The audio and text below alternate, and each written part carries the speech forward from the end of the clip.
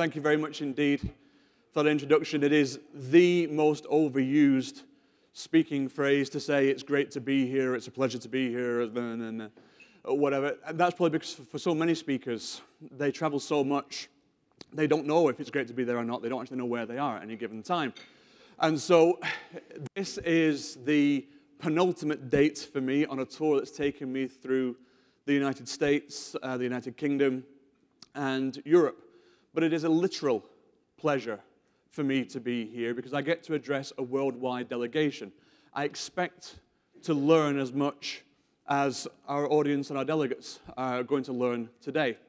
Having done this several times, I know that there are two pieces of value that I can bring to you today. The second most effective piece of value that I can bring to you today is the content that I have pre- prepared. We have a, a, lot of content. We're going to be together here for uh, an hour 45. I need you to stay awake. It's going to take, uh, it's going to take some time. We're going to have to work together. But I also know that as a delegate, and from a delegate's point of view, we come to a conference with issues on our mind. And we come wanting specific answers to questions. And we try to pick out the talks that we think are going to be of interest to us. And then we look in there for the answer to the question. And somewhere, hopefully within an hour, an hour and a half, or whatever it may be, we find the thing we're looking for, and maybe we don't. If we weren't listening, if we were checking emails at the time when they said the thing we wanted, maybe we miss it.